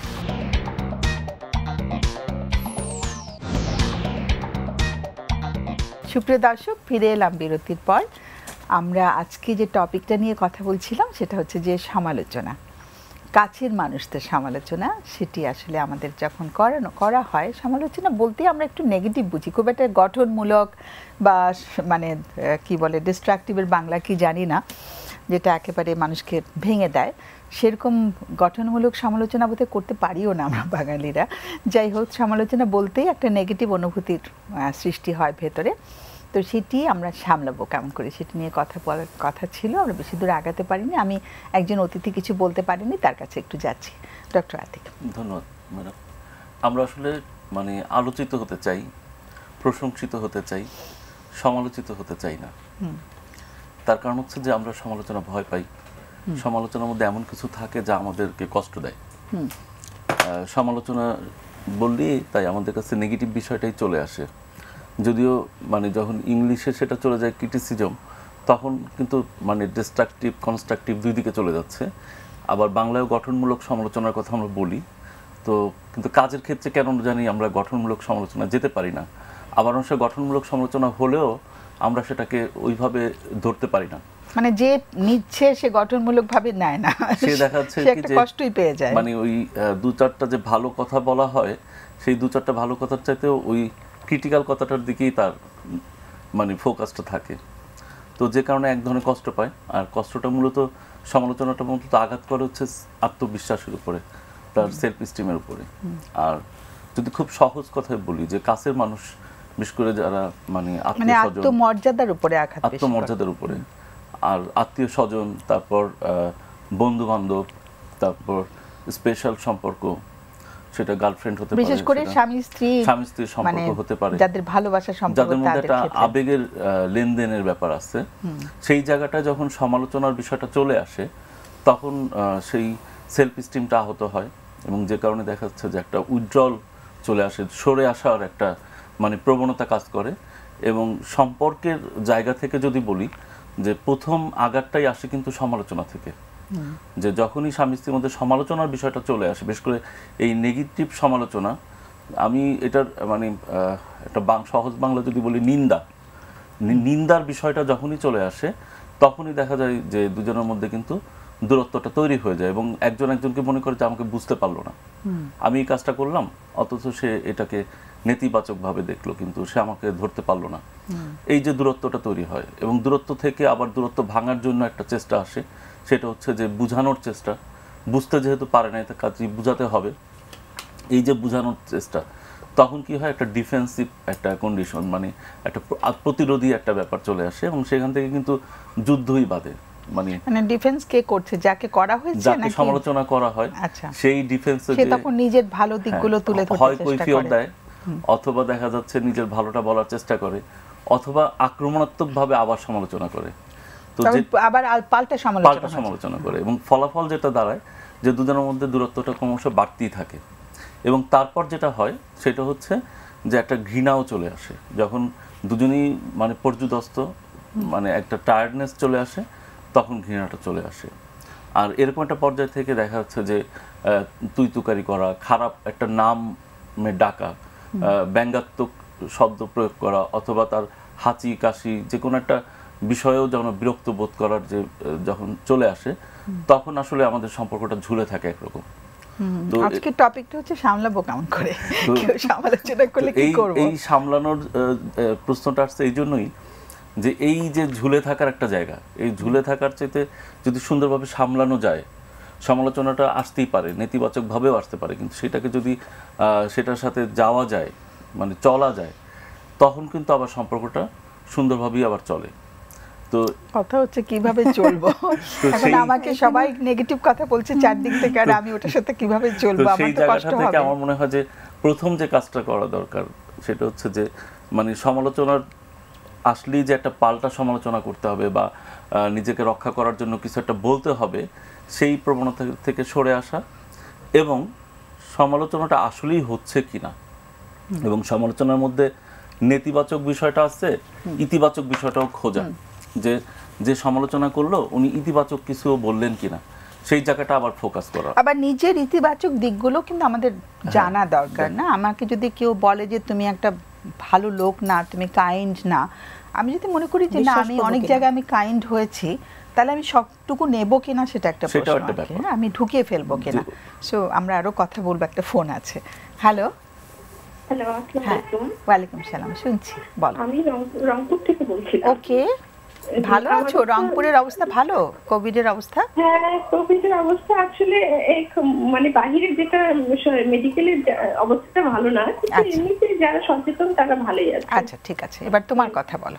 যে আমার একটা ছোট সমস্যা যেটা হচ্ছে যে আমার ছেলের বয়স এখন দশ বছর হয়নি। কিন্তু এখন যেটা হচ্ছে যে কোভিড এর জন্য তো স্কুল বন্ধ স্কুল বন্ধ থাকার কারণে বাসায় তো পড়াশোনাও করছে না। খুব কষ্ট করে পড়াতে হচ্ছে তবু পড়ছে না। কিন্তু এখন যেটা হয়েছে যে ওর মেজাজ এখন না খুব গরম থাকে যে তাকে একটু সময় মতো একটু পড়তে বললে বা কোনো কিছু করতে বললে একটুতে রেগে যায়। বা একটু প্রলোভন দেখিয়ে যদি আমি পড়াতে চাই যে তুমি এটা করো তাহলে তোমাকে আমি আইসক্রিম দিব বা এটা খেতে দিব ওটা করে দিব এটা। তখন কিছুটা হয়তো পড়তে বসে কিন্তু আহ, বেশিক্ষণ পড়ে না। তো যদি বকা দিই ও কথা শোনে না। তা আমি যে ওকে আমার প্রশ্নটা এরকম যে আমি যে ওকে এই যে এখন ছাড় দিয়ে যাচ্ছি যে পড়তে উম, বসছে না বেশি বকা দিচ্ছি না বা পিটনিও দিচ্ছি না যদি পিটনি দেই না আরও বেশি রেগে যায়। তো ওর কি ভবিষ্যতে কি ও কি ও কি আমার কন্ট্রোলে আমার রাখতে কি মানে এটা একটা ভবিষ্যতের প্রশ্ন যে ও কি আমার হাতছাড়া হয়ে যাবে না আমাকে আরেকটু আরেকটু স্ট্রিক্ট হওয়া উচিত? ওকে আচ্ছা একটা কবিতা তুমি শুনেছিলে your children are not your children they have come through you but not from you তোমার বাচ্চা তোমার তোমার মাধ্যমে পৃথিবীতে এসছে কিন্তু ও তোমার তোমার বাচ্চা যে তোমার বাচ্চা এটা ভেবো না। সো তুমি একটা কথা খুব কঠিন কথা ব্যবহার করলে কন্ট্রোলে রাখতে হবে। বাচ্চাদেরকে আমরা কন্ট্রোলে রাখব না। বাচ্চাদের সাথে আমরা বন্ধুত্বর সম্পর্কের সম্পর্ক করে ওদের সাথে সম্পর্কের একটা বিনিময় হবে হ্যাঁ? সেখানে আমরা ওকে নিয়ন্ত্রণে রাখব। বা হাতের বাইরে চলে যাবে এটা একটু মনে হয় যেন একটু জোর কাজ করছে ভেতর থেকে না? ঠিক ওই ভাবে আসলে বলিনি। আমি বলেছি যে ভবিষ্যতে আছে না যে কথা শুনছে না মানে এই এই কথা শুনছে না এখন যে আমি ওকে কিছু বলছি না ছেড়ে দিচ্ছি ও বড় হচ্ছে যে কোভিড এর জন্য আমি বুঝতে পেরেছি। তোমাকে একটু থামাই আমাদের তো অতিথিটা থাকেন আবার। তুমি যে কথাগুলো যার সম্পর্কে বলছো সে এখন ঘুমাচ্ছে? না ও ও আজকে ক্রিকেট খেলা ছিল ক্রিকেট খেলা দেখে খেয়ে এখন আবার মোবাইল নিয়ে বসেছে। আমি আমি যেখানে কথা বলতে আসছি এই ফাঁকে ও মোবাইলটা নিয়েছে। হয়তো আমি যে আবার নিষেধ করব রেখে দিবে। আচ্ছা ও কি জানে ওর সম্পর্কে তুমি কথা না বলছো? না না জানে না। ও হয়তো যা শুনলে একটু রেগে যাবে কেন তুমি বলছো আমার সম্পর্কে নেগেটিভ কথা বলা যাবে না ওর সম্পর্কে হ্যাঁ। কিছু? মানে ওর কথা কি তুমি অন্যদেরকে বলো? শুনতে পায় এরকম হয় কখনো? হ্যাঁ হ্যাঁ হ্যাঁ ওর কথা তো সবাই আমরা আমরা বাসায় যারা আছি সবাই ওকে বুঝাই যে তুমি ওর সম্পর্কে হয়তো কথা হচ্ছে যেটা ওভার হিয়ার করল অন্য জায়গা থেকে শুনতে পেল যে তোমরা আমার সম্পর্কে নেতিবাচক আজকে সমালোচনা নিয়ে হ্যাঁ, কথা বলছি আমরা। জি, জি, তো একটা সমালোচনা করছ ওর ব্যাপারে যে কথা শোনে না কন্ট্রোলে রাখতে হ্যাঁ, হ্যাঁ, পারছি না। ওর সমালোচনা যখন ও শুনতে পাচ্ছে যে তোমাকে তুমি করছ অন্য কারোর কাছে তখন কি বলে? না তখন একটু রেগে যায় যে আমি কখন এটা করলাম? তুমি কেন এই হ্যাঁ। ধরনের কথা বললা? রেগে যাওয়ারই কথা তাই না? জি। সো তোমার প্রশ্নটা তাহলে কি? যে এখন স্কুল বন্ধ এখন হ্যাঁ, পড়তে চাচ্ছে না তুমি ওকে ছাড় দিয়েছ ওই ছাড় দেওয়াটা কি ঠিক হচ্ছে কিনা হ্যাঁ, ছাড় দেবার ফলে ভবিষ্যতে যে এমন যাতে কখনো আমার এরকম মনে না হয় যে না আগে থেকে আমি ওকে আরেকটু যদি শাসনে রাখতাম তাহলে হয়তো বা এরকম ভবিষ্যতে যে কি এটা আমার জন্য কি ওর জন্য খারাপ হচ্ছে? যে আচ্ছা। আমি ওকে এখন কিছু বলছি না ছেড়ে দিচ্ছি যে যেমন ভাবে আছে চলে যাক এভাবেই। বুঝতে পেরেছি। আমরা তোমার কি আরও সন্তান আছে না একটি সন্তান? জি আমার আরেকটা ও তো আমার ছেলে। ওর বোন আছে বড়। আচ্ছা। দেড় বছর ওর চেয়ে দেড় বছরে বড় ওর সাথে খেলাধুলা করে মারামারি করে সবই করে আছে। ওই মেয়েটি কি পড়ছে? সাড়ে এগারো বছরের মেয়েটি? জি জি পড়ছে। আচ্ছা ও আবার ঠিকই পড়ছে। ঠিক আছে তোমার কত প্রশ্নটা পরিষ্কার একটু লাইনে থাকো তোমাদের কারও প্রশ্ন আছে কিনা? আমি একটু জানতে চাচ্ছি যে যেহেতু ওর বড় বোন পড়াশোনা করছে তো ওকে দেখিয়ে কি ওকে তুলনা করা হয় বা বারবার বড় বোনকে না, না, না, না, না, এটা- এটা করা হয় না, না। আচ্ছা আর এমনি কিছু ওকে যদি পড়ার কথা বলা হয় ওকে বলে যে না এখন স্কুল বন্ধ স্কুল বন্ধ থাকলে আমার পড়তে ভালো লাগে না। এই সব বলে। আর এমনি বাচ্চাদের জন্য সকাল থেকে রাতে ঘুমাতে যাওয়া পর্যন্ত একটা নির্দিষ্ট রুটিন কি করা আছে? এখন আগে যেটা ছিল এই কোভিড এর কারণে রুটিনটা এখন না সেরকম নেই। এখন দেখা যাচ্ছে ওরা ঘুম থেকে উঠছে খেলছে টিভি দেখছে ওদের মতো। এখন এই রুটিনটা এখন ব্রেক হয়ে গিয়েছে। আচ্ছা। তো মানে ও কাউকে ভয় পায় না। বলব। প্রশ্ন আছে? আচ্ছা। একটা কথা যে ও কাউকে ভয় পায় না কারও কথা শুনতে চায় না বেশিক্ষণ মানে শাসন করাই যায় না ওকে কিছু বলা যায় না রেগে রেগে যায় আদর করলে কথা শোনে হ্যাঁ তো কথা শুনে কিন্তু সেটা একটা ব্যাপার মিষ্টি খাইয়ে চকলেট খাইয়ে করবে কিনা সেটা হচ্ছে প্রশ্ন আর কি আচ্ছা আচ্ছা প্রলোভন দেখ দেখিয়ে করবে কিনা সেই জায়গাটা একটু হ্যাঁ। মাথায় রাখো ওকে আর কোনো প্রশ্ন আছে আমার প্রশ্ন ম্যাডাম সেটা হচ্ছে যে প্রশ্ন আছে ওর হ্যাঁ কাছে? যেটা বলতে চাচ্ছেন যে আপনি বলতে চাচ্ছেন যে পড়াশোনা করতে চায় না এছাড়া অন্য বিষয়গুলোতে হ্যাঁ অন্য বিষয়টা অভিভাবকদের কথা শুনে কিনা? হাইপার হয়ে কথা বলে একটু মানে রেগে যায়। হ্যাঁ একটুতে রেগে যায়। মানে কথা শুনতে চায় না কথা জোরে করে কথা বলে। ওকে যদি বলা আচ্ছা। হয় যে না তুমি একটু ভদ্রভাবে কথা বলো এভাবে কেন কথা বলছো? তখন ও মাঝে মাঝে অবশ্য নিজেই বলে যে আম্মু আমি রেগে গেলে কেন যেন এইভাবে বলি আমি আমি বুঝতে পারি না। আমি কেন এইভাবে কথা বলি? ভদ্রভাবে ছোট। যে কথা বলবে সেটা কি ওকে মানে বলে দেওয়া হয় যে কীভাবে বলবে? না না না সেটা বলে দেওয়া হয় না। আমরা বলি যে তুমি একটু সব ভালোভাবে বলো ভদ্রভাবে বলো রাগারাগি করে বলো না এটুকুই বলা হয়। আচ্ছা। কিন্তু ওর ওর কথা কখনো শোনো? ওর ভেতরে কি কথা চলছে? আসলে ও তো এখন ওর তো আলাদা ভাবে ও ছোট তো সেরকম তো কিছু এখনও একদম ছোট না। He is ten years old ওর। ভেতরে কি হচ্ছে? ও কেন পড়তে চাইছে না? যে এখন মোবাইল নিয়ে আছে ও কি মোবাইল নিয়ে একটু বেশি থাকে? হ্যাঁ যখন অবসর সময় থাকে তখন দেখায় মোবাইলে গেম টেম খেলে। সারাদিনে ও কতক্ষণ না না সারাদিনই থাকে না। সারাদিন না না না সারাদিনে ও কত কতক্ষণ গেমটা খেলছে সেটা দেখেছ? মোবাইলে খেলছে ঘণ্টা তিনেক তো হবে that's a lot of time তিন ঘণ্টা খেলছে ও হ্যাঁ। সো যাই হোক এখন মানে এই তো এই জায়গাটা আমরা এই এই অবস্থাতে থাকার ফলে কোভিডের কারণে কিন্তু গেম অ্যাডিকশনটা চরম আকারে দেখা দিয়েছে। তোমার ছেলে কোন অবস্থায় আছে আমরা জানি না কিন্তু এটা একটা ভীষণ সমস্যা হয়ে গেছে সামাজিক সমস্যা। আমাদের মানে বাচ্চারা খুব কষ্টে আছে। হ্যাঁ ওকে বললে বলে যে এখন তো আমি বাইরে যেতে পারছি না তুমি কোথাও নিয়ে যাও না আমি কি করব খেলব? কারণ না খুব কঠিন অবস্থা তোমার অবস্থাও বুঝতে পারছি। সো যেটা আমি বলতে চাচ্ছিলাম যে বড় কথা কি আমি একটু বলি ও ও- ওকে শাসন মানে কারও কথা একজন থাকে না যে হয়তো আম্মু এটা করল বা এটা আমাকে খালামুনি দেখছে বা এটা ইয়ে করছে একটু ভয় পেয়ে এই ভয়টা ওর মধ্যে নেই। এই জন্যই সমস্যাটা আরও মনে হয় বেশি হচ্ছে। মাঝে মাঝে ওকে কি মারধর করা হয়? খুব না কখনো যদি ভুলেও কিছু করা হয় তাহলে তো একেবারে মানে মনে করেন বাড়ি মাথায় করে। বাড়ি মাথায় উঠাই দেয়। খুব কম খুব যখন কন্ট্রোল করা যায় না হয়তো হয়তো বছরে একবার বা দুবার আচ্ছা, আমি কখনো হ্যাঁ বুঝেছি। বাড়িতে আর কে কে আছেন? বাসায় এখানে আমি আমার মা আর আমার দুই ছেলে মেয়ে। আমরা এই চারজনই থাকি। ওর বাবা? ওর বাবা গত বছর এক্সপায়ার করেছেন। Oh no. কীভাবে? ও হার্ট অ্যাটাক করেছিলেন। অল্প বয়সেই তো হবে। হ্যাঁ ফর্টি ফাইভ ইয়ার্স ছিলেন। ওহো। আচ্ছা সেই ব্যথাটাও তোর ভেতরে রয়ে গেছে এখনও? হ্যাঁ হ্যাঁ, আছে কিন্তু আসলে ওটা ওটা তো আমরা বুঝতে ওই ওই ফিলিংসটা ওর মধ্যে কতটা এটা আমরা বুঝতে পারি না কিসের জন্য। ও কারণ ওই হয়তো বাবা হয়তো মানে ভিডিও যখন কম্পিউটারে দেখে বা মোবাইলে দেখে তখন হয়তো বলে যে বাবা বাবার সাথে এটা করছি এই করছি সেটাই। কিন্তু অন্যভাবে যে বাবাকে খুব সবসময় মনে করছে আচ্ছা বাচ্চারা সব কথা বলে না। বুঝছ? তোমাদের মনে হচ্ছে বাবাকে হয়তো এতটা ভাবছে না কিন্তু ওর ভেতরে কিন্তু পেইনটা রয়ে গেছে। আর হুট করে মারা গেছেন কোনো প্রস্তুতি ছিল না কারুর। না না না, তুমি যথেষ্ট তুমি যথেষ্ট কান্নাকাটি করেছ তোমার ব্যথাটা কমিয়েছো? জি জি জি আমি কন্ট্রোল হয়ে আসছি অসুবিধা নেই?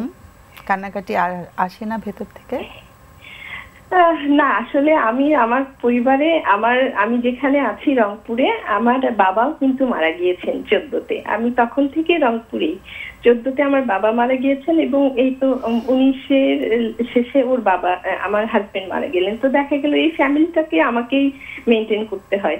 আমি মোটামুটি যথেষ্ট শক্ত আছি আমার মনে হয়। এখন আর্নিং মেম্বার কে? পরিবারে কে? উপার্জন ক্ষম এখানে এখন আপাতত আর্নিং মেম্বার আমি আমি একটা কলেজে আছি। আর আর- আর টুকটাক কিছু আমাদের ফ্যামিলি বাসা ভাড়া দিয়ে এইভাবে আমাদের চলছে। ওকে হুম তোমার বাচ্চাটার জন্য আমাদের অনেক আদর আমরা আলোচনা করতে পারি বোধ হয় না হ্যাঁ, তুমি নিজেও তোমার ভালো থাকাটা খুব জরুরি কেমন? মানে হুট করে হারিয়েছো তো তোমার সঙ্গীকে এটা অনেক বড় একটা ব্যথা এবং তুমি বলছো দশ বছরের বাচ্চা মনে করছে না কিন্তু আসলে বাচ্চাদের কষ্টটা বাচ্চারা তো প্রকাশও করতে পারে না হ্যাঁ? ভেতরে হ্যাঁ, হ্যাঁ, মানে আসলে। ওকে নিয়ে একটু চিন্তা করছি যেহেতু আমার ভাই নেই আমার হাজবেন্ড নেই আমার বাবা নেই ছেলে মানুষ আমাদের ফ্যামিলিতে কেউ নেই। এই বাচ্চাটা বড় হলে ওকে ওকে ওকে ওকে নিয়েই একটু চিন্তা মানে ও ছেলে বা মেয়ে সেটা ব্যাপার না ও একটা মানুষ কেমন? ঠিক আছে। ছেলেরা থাকতে হবে না হলে চলবে না সেটাও তো না আমরা তো মেয়েরাও যথেষ্ট এখন পারদর্শী হয়েছি জীবন চালাতে। সো ও ছেলে বলে ওকে একটা হাল ধরতে হবে সেই চিন্তাটা করো না। এতটা দায় ওকে মানে ভার ওকে দেবার দরকার নেই কিন্তু ওর পেইনটা যে এখনও ভেতরে আছে এটা আমরা একটু বোঝার চেষ্টা করি কেমন?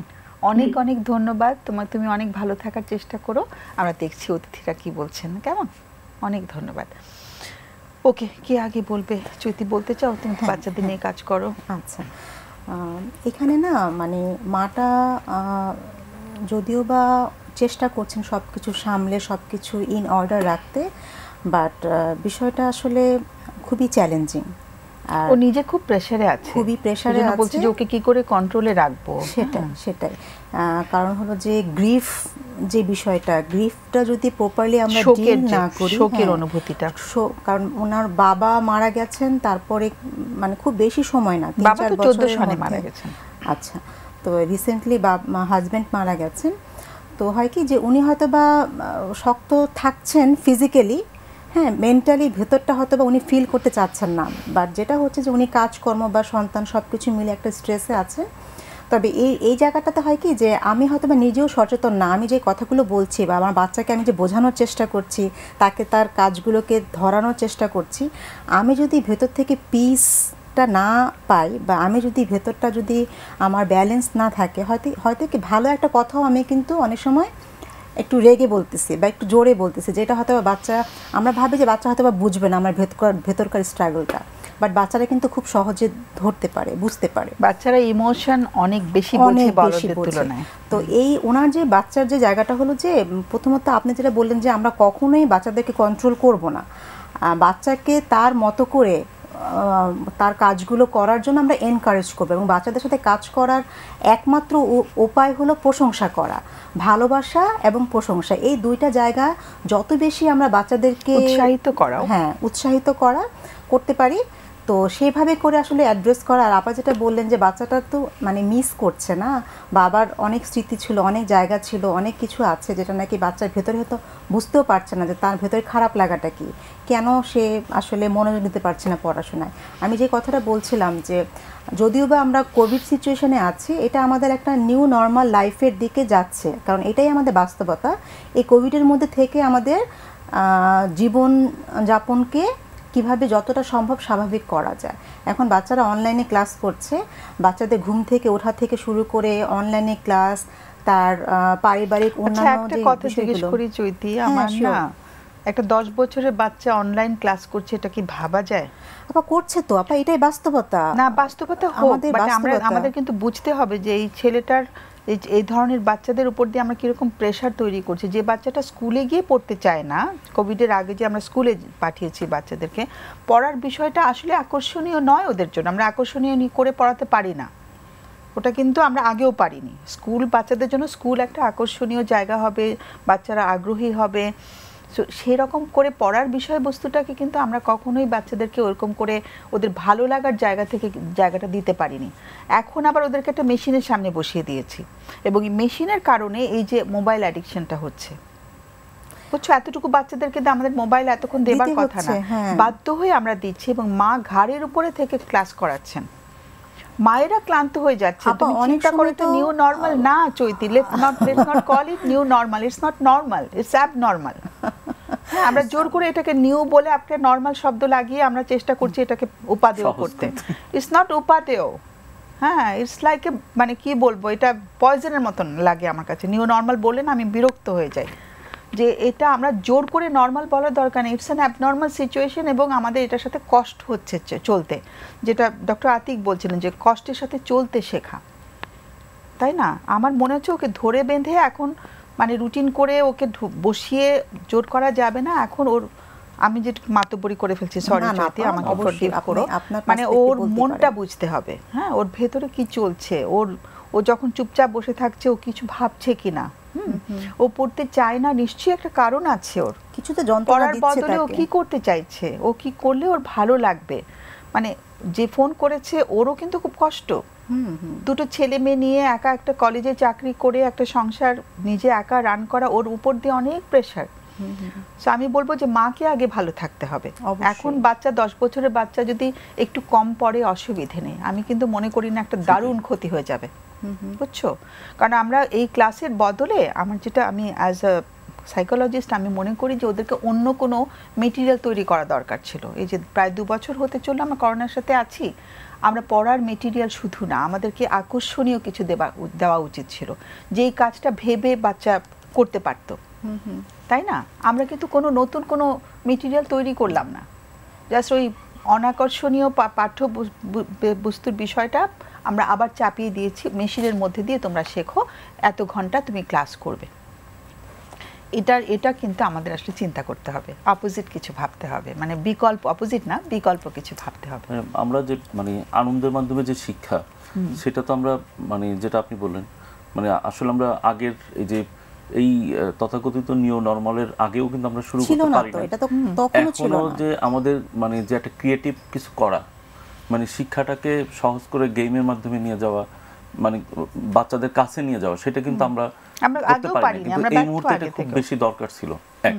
আর দুই হচ্ছে যে আমরা যারা বড়রা তারাই দেখাচ্ছে যে যখন অনলাইনে ক্লাস করি আমরাই কিন্তু বিরক্ত হয়ে যাই। কারণ এখানে ইমোশনালি কানেকশন নাই শিক্ষকের সাথে কোনো নাই। তারপর হচ্ছে ক্লাসে গেলে বাচ্চারা একসাথে হাই হ্যালো করলে যে মজাটা পায় সেই মজাটাও কিন্তু আমরা দিতে পারছি না। কি দিতে পারছি? শুধুমাত্র পড়াশোনা। ঘুম থেকে উঠে চোখ ডলতে ডলতে কোনো রকম ওরা বসে ক্লাসে বসো। এবং আমরা পিছন থেকে ঘাড়ের উপরে সওয়ার হয়ে বলি যে এটা করো এবং ওরা এটা করতে বাধ্য হয় এবং তারপর ক্লাসের যে পরিমাণ সেই পরিমাণটাও কিন্তু ম্যাডাম এটা সন্তোষজনক না। কারণ এত ক্লাস দরকার নেই। মানে সিলেবাস থেকে একদম শর্ট করে ইন্টারেস্টিং কিছু বিষয় দেওয়া। হাল ধরে রাখাটা দরকার ছিল এখন। পড়াশোনা করে খুব ভালো রেজাল্ট করানো চাপের মধ্যে রাখা দরকার ছিল না। হাল ধরে রেখে যেন ওরা ট্র্যাকের বাইরে চলে না যায় এবং বাস্তব ভিত্তিক কিছু শিক্ষা আমরা দিতে পারতাম। যেটা আমাদেরকে নতুন করে আমরা চিন্তা করতে পারতাম। সেই জায়গাটা কিন্তু আমরা করি নাই। এবং এর ফলে হচ্ছে কি আমরা ডিভাইস তুলে দিচ্ছি বাচ্চারা আনন্দের মধ্যে যেটুকু পাচ্ছে গেমের মধ্যে পাচ্ছে। বাচ্চারা যেটুকু ই করতেছে অথচ আমরা কিন্তু তাদেরকে অ্যাসাইনমেন্ট দিতে পারতাম। সুন্দর সুন্দর ক্রিয়েটিভ অ্যাসাইনমেন্ট দিতে মানে পারতাম। একটা একটা হয় না যে আমার আমার মনে আছে আমার বাচ্চা যখন ছোট ছিল ওকে বলেছিল যে তুমি একটা তুমি একটা চেয়ার তুমি চেয়ার হয়ে তোমার গল্প লেখো। ও কবে ওকে কার্পেন্টার তৈরি করেছিল মিস্ত্রি কবে ওকে তৈরি করেছিল কোন গাছটা কেটে ওকে তৈরি করেছে ছোট্ট মানুষ ও কিন্তু কল্পনা করে লিখেছে যে ও নিজের চেয়ারের আত্মকাহিনী আমরা ছোটবেলায় যদি এরকম আমরা আমরা আত্মকাহিনী পড়তাম বটগাছের আত্মকাহিনী নদীর আত্মকাহিনী সেগুলো কিন্তু সব চলে গেছে আমাদের পাঠ্যপুস্তক থেকে তাই না? আবার এই ডিভাইসের কারণে কিন্তু আমাদের ইমাজিনেশন অনেক কমে গেছে। একদম। আগে যেটা আমরা ইমাজিন করতাম একটা বই পড়তাম মাসুদ জানা পড়তাম কল্পনা করতাম যে এইভাবে যাচ্ছে। এখন যাচ্ছে মুভিতে দেখতেছি। তো তবে এখানে এইখানে আপা একটু আমি বলতে চাচ্ছিলাম যে আমার যেহেতু ইংলিশ মিডিয়ামে কাজ করার কিছু অভিজ্ঞতা আছে বা ছিল আপনি যেটা বললেন না যে পড়াশোনাটাকে একটু আনন্দদায়ক করা শুধু মানে ক্লাস বা সিলেবাস ভিত্তিক না করা আমি যেখানে ছিলাম স্কলাস্টিকায় সেখানে কিন্তু আপা এই জায়গাগুলোকে অ্যাড্রেস করা হতো। আমি নিজে যেখানে দেখে এসেছি যে বাচ্চাদেরকে একদম বই খাতায় অ্যাসাইনমেন্টের ওখানে মধ্যে কারা পড়ছে? অনেক যারা টাকা পয়সা ইনকাম করে তারা পড়ছে এটাই আমাদের আমি জাস্ট বললাম যে ওই জায়গাটা আছে বাট ওইটাকে যদি গভর্নমেন্ট বা সাধারণ সবার কাছে পৌঁছানোর ব্যবস্থা করতো তাহলে হয়তো আপনি যে কথাটা বললেন যে বাচ্চারা আনন্দ নিয়ে পড়বে মানে সমাজের চাপটা হতো না। ছোট্ট একটি দল মানে তারা কিন্তু অনেক টাকা দিয়ে বাচ্চাদেরকে পড়াতে পারছে। তুমি জাস্ট আম জনতার কথা চিন্তা করো। হুম হুম। কোনো রকম কিন্তু সৃজনশীল কিছু নাই। সৃজনশীল চিন্তা করতেই ভুলে গেছে আমাদের বাচ্চারা। সেটাই সেটাই। আমি যে কল করেছ তোমাকে আমি বলতে চাচ্ছি যে তুমি বাচ্চার সঙ্গে একটু মানসিকভাবে কানেক্ট করো। তুমি নিজে আগে একটু মানে নিজের নিজের সাথে কানেক্ট করো। তুমি কেমন আছো একটু বোঝার চেষ্টা করো। তুমি একটু ওকে বন্ধুর মতন ওর সাথে আচরণ করো। তুমি ভয় পেও না। ও কখনোই তোমার আয়ত- আওতার বাইরে চলে যাবে না। কারণ ও তোমার সন্তান। তুমি ওকে পৃথিবীতে এনেছো। তোমার জন্যই এনেছিলে। আমরা নিজের জন্যই বাচ্চাদেরকে আনি। কিন্তু তুমি ওকে যতটা পারো কাছে টেনে নিয়ে আসো কেমন? আমরা চেষ্টা করব না বাচ্চাদেরকে কন্ট্রোল করতে আমরা বরং বন্ধুর মতন আচরণ করব। আরেকটু ফোন আর। করতে চাচ্ছিলাম, আমি একটু। অ্যাড করতে চাচ্ছি। আচ্ছা। সেটা হচ্ছে যে ওর যে যে মানে দশ বছর বয়স সেই সময় যে একটু অ্যারোগেন্সি কথা বলা বা একটু জোরে কথা বলা ইমোশনটা মানে আহ, প্রকাশ করে ফেলা এটা কিন্তু মানে আহ, খুব স্বাভাবিক একটা ব্যাপার। এটাকে মানে আহ, কীভাবে শেপিং করবে এটা ওনাকে চিন্তা করতে হবে। হ্যাঁ, মানে ওর এই ন্যাচারাল বিষয়টাকে মেনে নিয়ে যদি করেন সেটাই মানে বন্ধুর মানে মতন যদি আচরণ করতে পারে তাহলেই হয়তো হবে। প্রস্তুতি তোমার কথাটা একটু পরে শুনে একজন অনেকক্ষণ ফোন ধরে আছে। হ্যালো হ্যালো হ্যাঁ শুনছি। আলাইকুম। ওয়ালাইকুম সালাম। শুনছি আমরা। জি আমি গাইবান্ধা থেকে বলছিলাম। গাইবান্ধা পলাশবাড়ি ওকে গাইবান্ধা থেকে শুনেছি তারপর? আমার আমার সমস্যা হচ্ছে আমি এই যে ঘরের মধ্যে আছি এখন যদি জানতে পারি যে আমার ঘরের মধ্যে যে বাইরে কেউ দরজাটা লাগাই দিছে। ও।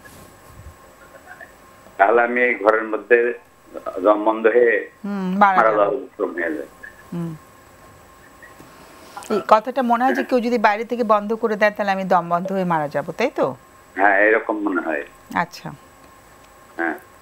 আর কেয়ার সচরাচর কম হয়। বয়সটা কত? বয়স ফিফটি আপ ফিফটি আপ পঞ্চাশের বেশি। ওকে আর পরিবার আছেন সাথে? হ্যাঁ, না এখন নাই কাছে হুম এখন কাছে নেই। জি। কোথায় ওরা? বাবার বাড়িতে বেড়াতে গেছে। আচ্ছা বাট এমনি আছেন তো পরিবার তাই না? হ্যাঁ আছেন আছেন। ছেলে মেয়েও আছে? আমার মেয়ে দুই মেয়ে এক ছেলে। দুই মেয়ে এক ছেলে? আচ্ছা। ওরা সবাই বেড়াতে গেছে? হ্যাঁ না শুধু আমার ছেলে আছে। আর আচ্ছা মেয়ে মেয়ে বিবাহ দিছি বড় মেয়ে বিবাহ দিছি ঢাকায় থাকে। আচ্ছা ওকে।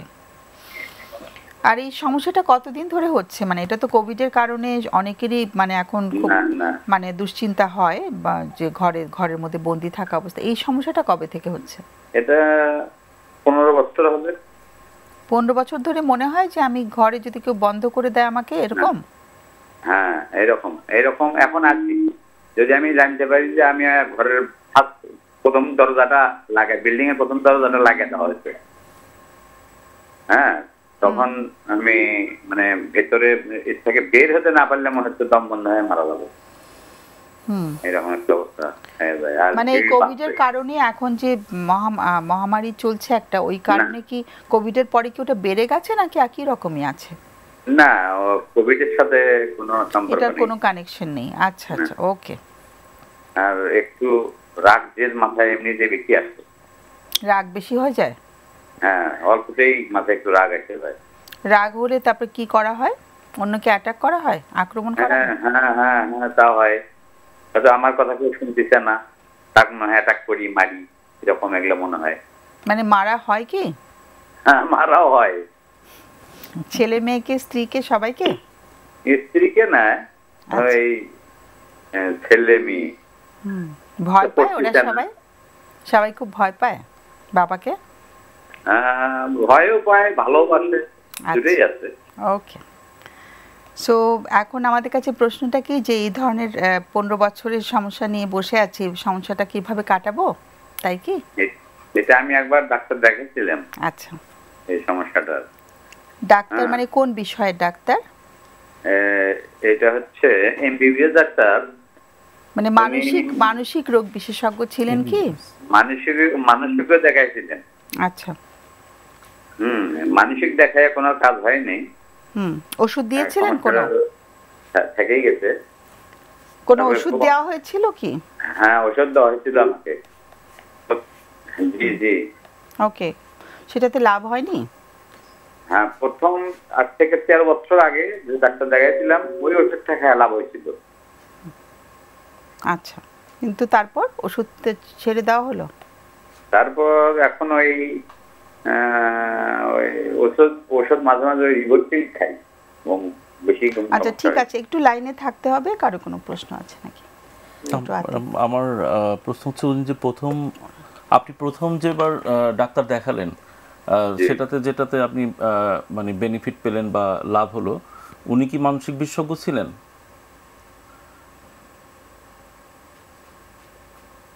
হ্যালো?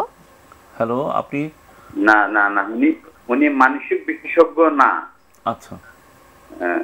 কিন্তু উনি হচ্ছে এমবিবিএস ডাক্তারই। হঠাৎ করে আমি আমার বোনের বাড়িতে গিয়ে আচ্ছা আমাদের শোনা দরকার ছিল।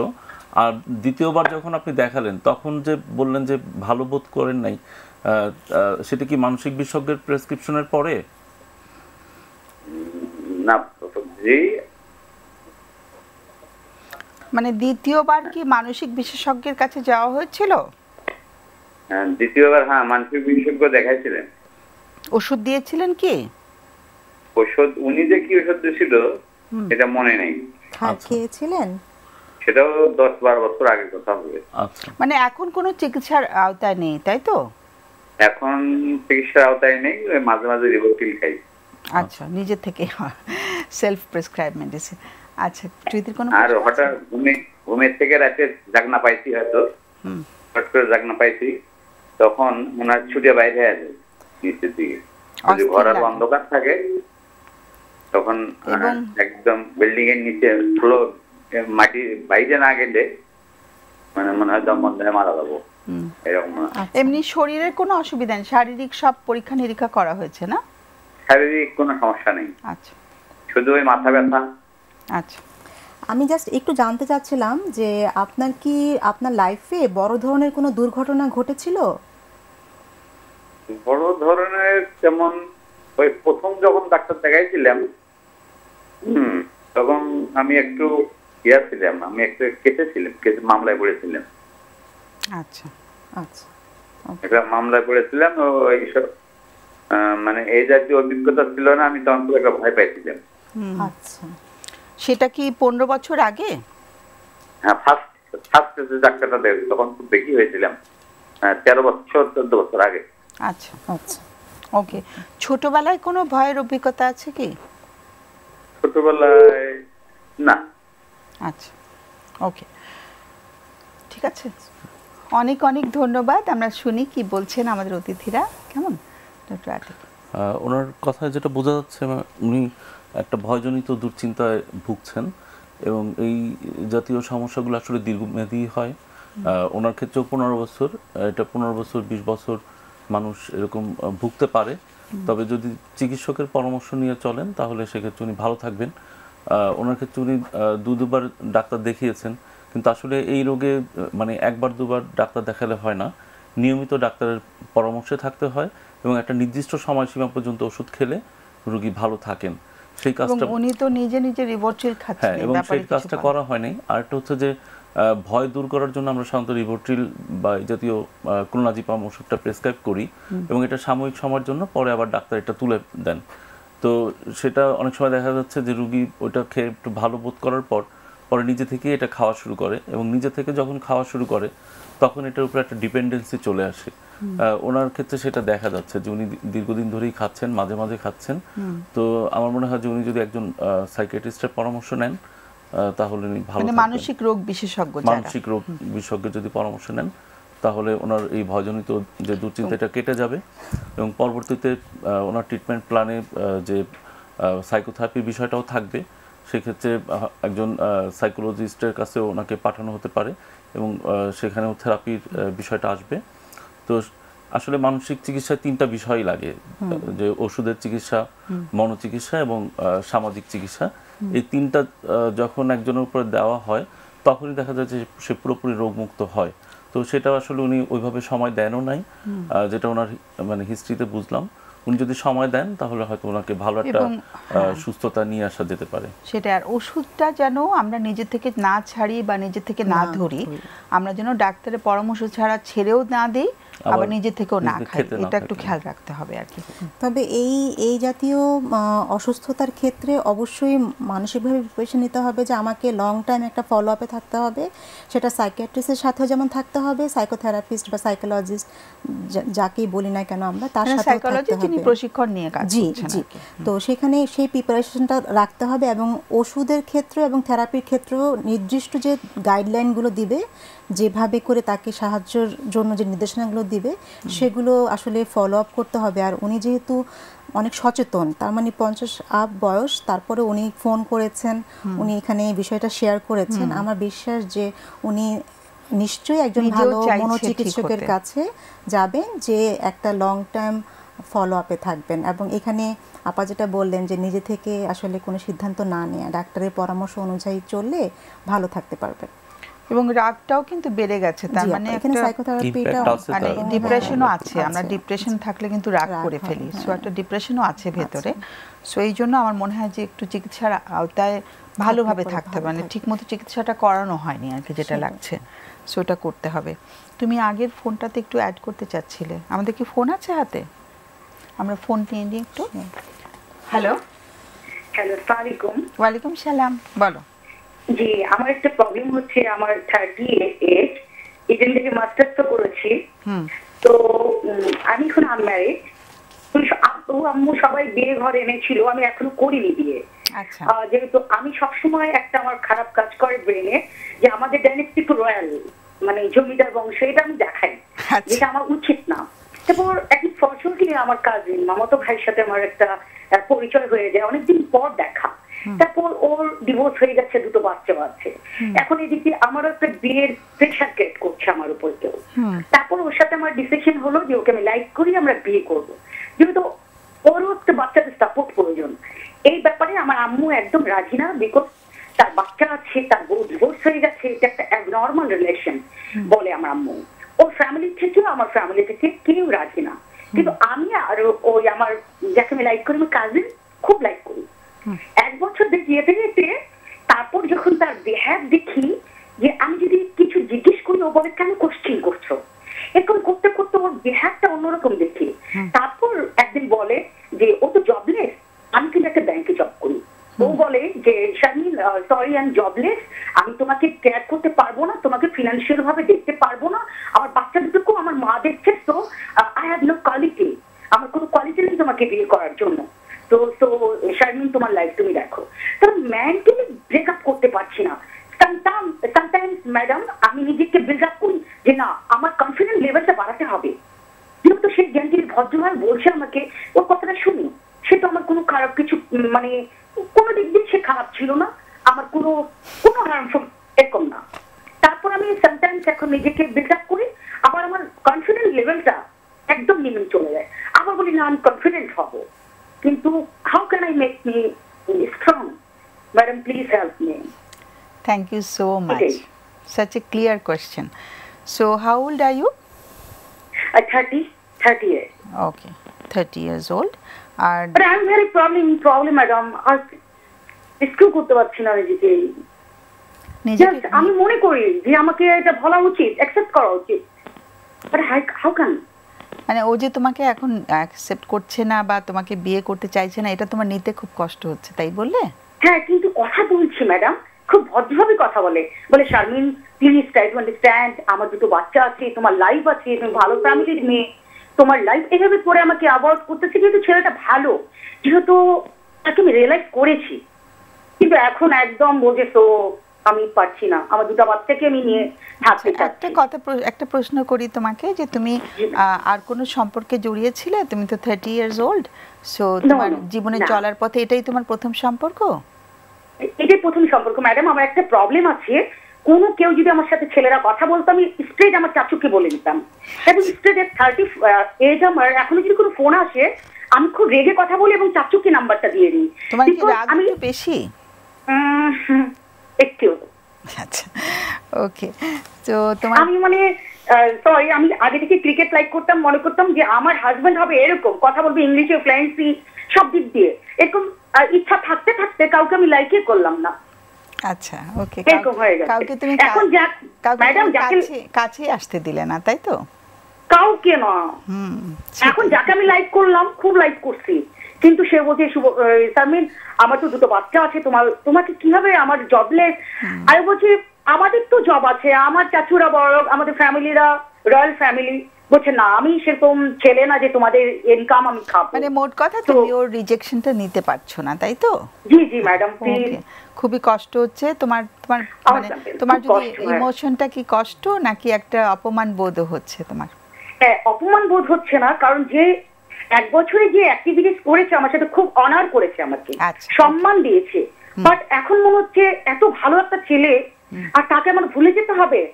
আচ্ছা ওকে তো আমি নিজেকে নিজেকে সামলাতে চাচ্ছি because. I want to build up my career and just I want to live in the art okay ভালো মতো বাঁচতে চাই। তুমি একটু লাইনে থাকো কারও কোন তোমার প্রশ্নটা কি যে তুমি আহ, প্রশ্নটা পাইনি এখনও? সরি প্রশ্নটা কি? প্রশ্নটা ম্যাডাম আমি সামটাইমস আমি আমার কনফিডেন্স লেভেলটা নিম্ন হয়ে যাচ্ছে। আমি আচ্ছা। চাচ্ছি ওকে ভুলে যেতে ও যেটা চাচ্ছে সেটাই করতে এবং আমি ভালো মতো আমার লাইফটা লিড করতে ওকে চাচ্ছি এবং কনফিডেন্টলি সামনে চলতে চাচ্ছ। একটু লাইনে একটু লাইনে ভেঙে ভেঙে যাচ্ছি। হ্যাঁ একটু লাইনে থাকো কোনো প্রশ্ন আছে? না ম্যাডাম প্রশ্ন নেই। ওকে তুমি যাতে না ভাঙো সেটা আমাদের সবার ও, শুভকামনা রইল। তোমার জন্য অনেক সহমর্মিতা সবার অনেক আদর। তুমি একটু শোনো আমাদের অতিথিদের কথা কেমন? আমাদের সাথে থাকো। তুমি ঢাকায় থাকো? আচ্ছা ও নেই আমাদের সাথে এখন। সো চুইতি না, আমি বলব যে বলছে যে আমার কনফিডেন্ট নাই বাট ওনার কণ্ঠস্বর, ওনার প্রেজেন্টেশন স্টাইল ইভেন ওনার যে জব উনি যে জব করছেন এবং ওনার থার্টি ইয়ার্স ক্যারিয়ারের ওনার যে জায়গাটা, ওনার নিশ্চয়ই কনফিডেন্স আছে। উনি, আমি এটা বলব অ্যাজ এ থেরাপিস্ট আর স্বাভাবিকভাবেই উনি একটা একটা মানে স্বপ্ন দেখেছিলেন অ্যাটলিস্ট তো সেই স্বপ্নটা যখন মানে পরিপূর্ণ হচ্ছে না স্বাভাবিকভাবে সে ডিসহার্টেড হয়েছে। আর যেটা বারবারই বলছিলেন যে আমা- আমার মানে ছেলেটা ভালো এবং অনেক রেসপেক্ট করে অনেক সম্মান দিয়ে তাকে এখন বোঝাচ্ছে যে আসলে রিয়ালিটিটা তা না। তো সেই জায়গার থেকেই আসলে উনি আসলে সামলাতে পারছেন না। উনি ভেঙে পড়ছেন। একবার সামলাচ্ছেন, আবার ভেঙে পড়ছেন। তো সেক্ষেত্রে আমি নিশ্চয়ই অনুরোধ করব যে একজন প্রফেশনালের সাথে একটু সাহায্য নিতে। কারণ এই অবস্থাটা সামাল দেওয়ার জন্য আপনাকে একটু থেরাপি নিতে হবে। কারণ হলো যে আপনি অলরেডি বলছেন যে আমি ভেঙে পড়ছি, আবার উঠে দাঁড়াচ্ছি। এই এই অবস্থা যদি বেশি দিন চলতে থাকে, তাহলে আপনার মানসিক স্বাস্থ্যের ঝুঁকিটা অনেক বেড়ে যাবে। তো অ্যাজ সুন অ্যাজ পসিবল আপনি আমি রিকোয়েস্ট করব একজন প্রফেশনালের সাথে বসে আপনার এই জায়গাটা নিয়ে একটু কাজ করেন একটু থেরাপি নেন। আমার বিশ্বাস যদি প্রয়োজন হয় একজন সাইকিয়াট্রিস্টকে দেখাতে পারেন কারণ আমি জানি না আপনার ডিপ্রেশন লেভেল বা দুশ্চিন্তা জায়গাটা কতটুকু আছে সেই লেভেলটা জেনে হয়তো বা আপনার সাইকোলজিস্টই আপনাকে রেফার করবে একজন ঘুমটা কাছে। ঠিক হয় কিনা আমরা হ্যাঁ, জিজ্ঞেস করলাম না একটু হ্যাঁ, জিজ্ঞেস করা দরকার ছিল ওকে একটু হাইপার মনে হলো আমার কাছে যে একটু উত্তেজিত মানে একটু উত্তেজনা মানে হয় না একটু হয়তো আমি কি বলব যে আমাদের যে আমরা যে টলারেন্স লেভেল থেকে একটু বেরিয়ে যাওয়ার ব্যাপার হয় হাইপার হাইপার অ্যারাউজাল যেটা আমরা বলি আর কি তো এটা হলে খুব ভালো হবে। এক্স্যাক্টলি সো আমরা একটা ফোন নিয়ে আপনার কাছে আসি। লাস্ট ফোন আমাদের সময় শেষ প্রায়। হ্যালো হ্যালো হ্যাঁ শুনছি। একটু তাড়াতাড়ি বলো। হ্যালো আসসালামাইকুম হ্যাঁ ওয়ালাইকুম সালাম। বলে ফেলো কি বলবে? হ্যাঁ আমি একটু জানতে চাচ্ছিলাম আমার আমার প্রশ্ন হচ্ছে আমার ছোট ভাই। ও অনেকদিন ধরেই মানসিক ভাবে একটু বিপর্যস্ত। আচ্ছা। বিভিন্ন ডাক্তার আমরা সাইকিয়াট্রিস্ট দেখিয়েছি ঢাকায়। আহ, ওকে অনেক অনেক মেডিসিন দিছে তার মধ্যে ঘুমের ওষুধ আছে। এখন ঘুমের ওষুধ যতবারই ওকে ডাক্তার দেখিয়েছি ততবারই ঘুমের ওষুধ থাকবেই। অন্যান্য ওষুধের সঙ্গে এই ঘুমের ওষুধটা থাকবেই হুম। তাতে ও ফুল অ্যাডিক্টেড হয়ে গেছে। এখন ঘুমের ওষুধ ছাড়া ঘুমাতে পারে না। এবং ওর সবসময় হাই টেম্পার হয়ে থাকে সবার সাথে খারাপ ব্যবহার করে। তারপরে বেলা বারোটার আগে কখনোই তাকে ঘুম থেকে উঠানো কতদিন ধরে অসুস্থতা ওর? ওর তাও পনেরো বছর। আর ওর বয়স কত এখন? ওর বয়স ফর্টি ফর্টি ওয়ান এখন আর ও কি পড়াশোনা করতে পেরেছিল নাকি শেষ করেনি? না না পড়াশোনা ও ঢাকায় ঢাকা থেকে ইন্টার পর্যন্ত পড়ে পরে গ্রাজুয়েশন কমপ্লিট করছে নর্ডাম কলেজ থেকে পড়াশোনা করছে। student কমপ্লিট করেছিল? জি জি গ্রাজুয়েশন কমপ্লিট করেছিল। আচ্ছা। তখনও তখন পর্যন্ত কোনো সমস্যা হয়নি। এখন আমরা ওকে বিয়ে করতে বলি এখন পর্যন্ত সে বিয়ে করেনি। ওর সমস্যাটা শুরু হয়েছে কতদিন বলে পনেরো বছর আগে থেকে? হ্যাঁ পনেরো বছর হবে তখন এত জটিলতা ছিল না তখন অল্প আচ্ছা। ছিল। যতদিন যাচ্ছে ডে বাই ডে অনেক ওর জটিলতাগুলো মানে ও বাড়ছে গ্র্যাজুয়েশন করার পরে সমস্যাগুলো হয়েছে আর কি তাই তো? তার জি, আগে ভালো ছিল। জি জি। আর সম্ভবত কোনো মেয়ের সাথে রিলেশন কোনো মেয়েকে পছন্দ করতো সেই মেয়েটা বিয়ে হয়ে যাওয়ার পর আমরা যেটুকু পরে শুনছি এটা আঘাত একটা আঘাত পেয়েছিল মনে তাই মনে হয়? মনে হয়। আমাদের মানে ওর ডিটেলসটা আমাদের কাছে বলেনি। আমরা চেষ্টা করতেছি ওকে দিয়ে দেওয়ার জন্য। এই যে বডি আপ এজ হয়ে গেল আচ্ছা তোমার প্রশ্নটা বলে ফেলো। আমাদের সময় একদম সংক্ষিপ্ত হয়ে এসেছে। তোমার। প্রশ্নটা কি আমাদের কাছে। এখনও আহ, কোনো কাজ মানে কোনো চাকরি কোনো ব্যবসা আমাদের একটা ব্যবসা আছে আমার বাবার কোনো কিছুই করতে চায় না। ঠিক আছে। মানে কি করে ওকে একটু কর্মক্ষম কর্মক্ষম করা যায়? কর্মক্ষম হ্যাঁ। প্লাস কি ওর মানে পুরোপুরি ওকে রোগ মুক্ত করা যায় কি আচ্ছা ঠিক আছে। তাহলে আমরা একটু আলোচনা করি আমাদের সময় একদম কমে গেছে। তুমি একটু থাকো আমাদের আলোচনার সাথে। ডক্টর আতিক ওর আমার একটা যে প্রশ্ন ছিল ওনার কাছে। আহ, সেটা হচ্ছে যে ওর মানসিক রোগের কথা বলা হচ্ছে। অ্যাকচুয়ালি ওর মানসিক রোগটা কি ছিল? ডায়াগনোসিসটা কি ছিল? আর যদি সেটা বলতে না পারে অন্তত লক্ষণগুলো কি ছিল? কারণ আচ্ছা সেটার আমি তো উপরে ছেড়ে দিলাম আমি সেটার উপরে বোঝা যেত যে ওর মানসিক রোগটা কি বা তার প্রগনোসিসটা কি? হ্যাঁ। তো যদি সাইকোটিক টাইপের হয় আমরা মানে সংক্ষেপে বলে দিই যদি সাইকোটিক টাইপের হয় সাইকোটিক তো বুঝবে না মানে যদি খুব মানে তীব্র কোনো মানসিক অসুখ হয়ে তীব্র বলতে মানে যদি এমন হয় যে বাস্তবতা জ্ঞান মানে অনুপস্থিত। অনুপস্থিত বা বাস্তবতা জ্ঞান বাস্তবতা থেকে বিচ্ছিন্ন এরকম ধরনের কোনো যদি মানসিক রোগ হয় যে কানে গাইবি কথা আসা অথবা একদম মানে ভ্রান্ত টাইপের বিশ্বাস যেটা সহজে যাচ্ছে না সন্দেহ করা এরকম যদি লক্ষণ থেকে থাকে তাহলে ধরে নিতে পারি এটা সাইকোটিক টাইপের কোনো ডিজর্ডার এবং সেক্ষেত্রে কিন্তু দীর্ঘদিন অসুস্থ থাকাটা স্বাভাবিক এবং সে কিন্তু পরেও দেখা যাচ্ছে যে কাজে ফিরে আসছে না। এটা সহজে মানে যে ছোটোখাটো ডিপ্রেশন বা নিউরোসিস বা অ্যাংজাইটির রোগ বলে মনে হচ্ছে না। তো সেই ক্ষেত্রে তাকে অনেক সময় সিডেটিভ দেওয়া হচ্ছে, বিভিন্ন সাইকেট্রিস্ট সিডেটিভ দিচ্ছেন। সব কিছু দেখে মনে হচ্ছে যে এই রোগীটা এক সময় সাইকোটিক ধরনের কোনো ফিচার নিয়ে গিয়েছিলেন। তো সেই ক্ষেত্রে আমার মনে হয় যে এই বিষয় নিয়ে যে সাইকেট্রিস্টকে দেখাচ্ছেন তার সাথে কথা বলতে পারেন। বিয়ের ব্যাপারে যদি ওনাদের কোনো সিদ্ধান্ত থাকে সাইকেট্রিস্টের সাথে উনি পরামর্শ করতে পারেন। তাছাড়া সিমটমটা আপা অনেকটা মানে বলা যাচ্ছে না কারণ যেহেতু ইমোশনাল ব্রেকআপের একটা ইস্যু আছে পাশাপাশি কোনো অন্যান্য ড্রাগের সাথে আছে কিনা সেটা কিন্তু আসলে ওভাবে করে এক্সপ্রেস করতে পারে এবং একটু আসলে যাই থাকুক সাইকো মানে যদি সিভিয়ার অসুস্থতা হয়ে থাকে আমার মনে হয় মাঝে মাঝে যেটা সাপোর্টিভ থেরাপি আর কি কারোর সাথে একটু কথা যদি বলে মন খুলে কথা বলে তাহলেও কিন্তু ওরা একটু ভালো থাকে। মানে কোনো থেরাপিউটিক ইন্টারভেনশন হয়েছে কিনা সেটা বোধহয় একটু দরকার আছে ওষুধের পাশাপাশি। সেটা যদি নিতে পারে আমার মনে হয় ছেলেটির বোধহয় মনের মধ্যে অনেক এখন কথা বিয়ের জন্য আসলে ফোর্স না করে উনি আগে মানসিকভাবে একটা ব্যালেন্স ভারসাম্যটা ফিরে আসুক আগে তারপরে কর্ম তারপরে বিয়ে। কারণ মানুষটাকে আগে ভারসাম্যটা ফিরিয়ে আনতে হবে তার জীবনের। সো আমরা যদি আহ, পরে আরেকবারও ফোন করে তাহলে ভালো হয় আমরা আরেকটু আর শুনতে এটা আসলে ট্রিটমেন্ট প্ল্যানের মধ্যেই থাকবে ম্যাডাম যে সাইকিয়াট্রিস্টের যে ট্রিটমেন্ট প্ল্যান তার মধ্যে অবশ্যই সাপোর্টিভ সাইকোথেরাপি বিষয়টাও থাকবে। ওকে সেটা হয়তো করতে হবে অনেকে স্মরণ শেষ করতে হবে। সো আমরা ধন্যবাদ সবাইকে জানাচ্ছি দুজনকে জানাচ্ছি। আমাদের আজকের অনুষ্ঠানের সময় একদম শেষ। আর সুপ্রিয় দর্শক আমাদের আজকে বিদায় নিতে হবে। সময়ের শেষ ঘণ্টা বেজে গেছে। আর আমরা আগামী অনুষ্ঠানে আলোচনা করব। আজকে সেই বিষয় নিয়ে একটি প্রশ্ন ছিল যে, এই যে কোভিডের সময় আমাদের যারা মানে বয়সন্ধিতে থাকা শিশু এবং আর একটু বড় যারা রয়েছে, যাদের এখন ইউনিভার্সিটি কলেজে যাওয়ার বয়স, তাদের আসলে মনের স্বাস্থ্যের অবস্থা কি হচ্ছে সেটা নিয়ে আগামীতে আলোচনা করব। সেই পর্যন্ত সবাই ভালো থাকবেন, সুস্থ থাকবেন এবং আমাদের সাথে থাকবেন বাংলা ভিশনের সাথে। আর শুভরাত্রি জানিয়ে শেষ করছি।